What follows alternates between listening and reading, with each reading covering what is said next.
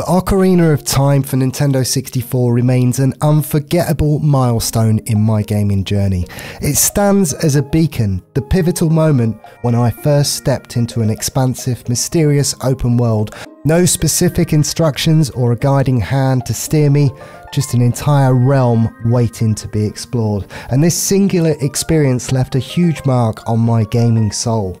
From that defining moment, any Zelda game release became a non negotiable pilgrimage for me, and over the years I've endeavoured to traverse its rich back catalogue. However, there was one era that remained elusive to me the Nintendo Game Boy. Now, back then, the Game Boy was pretty lackluster with its screen and it was worthless to me.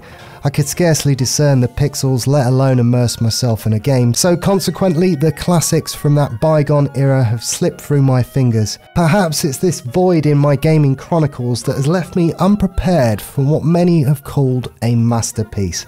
Link's Awakening has undergone a breathtaking visual transformation, the art style reminiscent of a meticulously crafted diorama there's a plastic sheen upon every tree and shrub, which helps give it this charm that transports a player into a breathtaking, vivid storybook. I admit before picking this game up from my back catalogue, I perceived the aesthetic as more overly whimsical and childlike, very reminiscent of the art style from Animal Crossing. The development team set out with a clear mission to craft a game that could seamlessly capture the essence of a classic Zelda adventure while infusing it with some fresh, unconventional elements.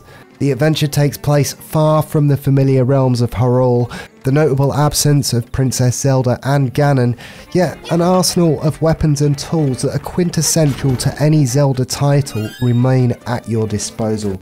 You'll uncover a treasure trove of Nintendo references paying homage to iconic figures like Mario. There's even an unexpected cameo by an evil Kirby. As for the puzzles, some are brilliantly designed, however, there are others that have not stood the test of time, challenging even a seasoned Zelda player like myself to consult a guide on a couple of occasions. Even after unveiling the numerous waypoints, you'll find yourself retracing steps without a crystal clear notion of your next move. The phone boxes, while intending to offer hints, I did feel didn't assist, and for newcomers like myself, some updated information or more general clues would have been appreciated. As an integral part of its design, the map has sections that are unreachable at first, but in that classic Zelda way, it introduces new abilities. My personal favourite being the hook shot.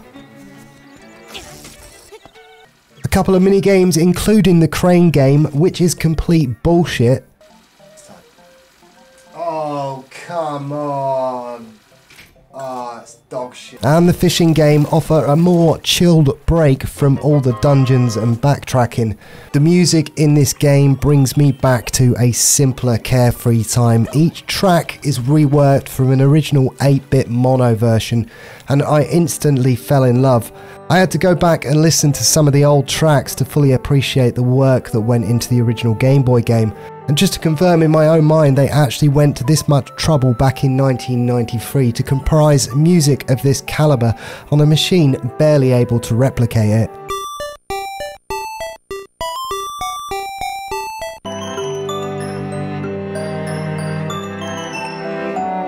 The final boss fight music ramped things up by about 10, dropping a nice 808 kick drum over the orchestra, helping you uncontrollably nod your head through the whole fight.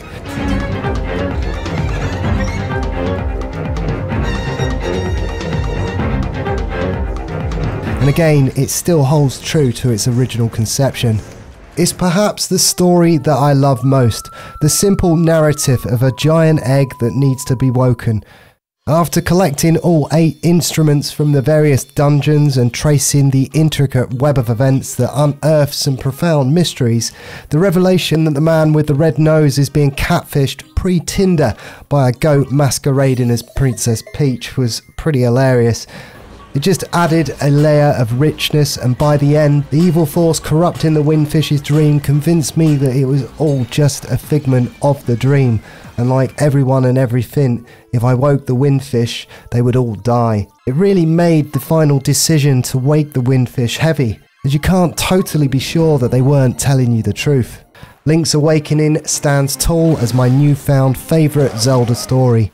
In an era inundated with remakes and remasters, it's a breath of fresh air to actually play a real remaster, done with an abundance of perfection and care.